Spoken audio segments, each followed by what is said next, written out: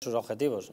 Y, hoy mismo está diciendo que el País Vasco es un país independiente. Y si este señor, recordémoslo, porque el matiz me parece muy importante para zanjar la polémica, si Bildu en la segunda investidura, la de nueva moción de censura, después de las elecciones de 2019, en la segunda votación vota en contra, Claro. la investidura de Pedro Sánchez cae, porque fueron 167 contra 165, con la abstención de Bildu. Si sí. Bildu vota en contra, son presi- es 169 presidente por Bildu. contra 167. Este señor es presidente por Bildu. Hasta las CUP votaron en contra y Bildu no. Entonces, este señor es presidente por Bildu las dos veces, las dos veces, la podrida moción de censura. Podrida por todos los lados, porque hubo un señor que se fue a un bar mientras dejaba un bolso, o sea, podrida por todos los lados. ¿eh? Y la segunda votación, este señor es presidente por Bildu. Y ahora ahí se lo está regalando, porque quieren hacerle endacari, quieren hacerle endacari al Otegui o a un sucedáneo de Otegui. Esa es la gravedad de las circunstancias, esa es la gravedad de lo que estamos viviendo hoy, en julio, en España, cuando tendríamos que estar homenajeando a Miguel Ángel Blanco y haciendo que nuestra juventud recuerde a Miguel Ángel Blanco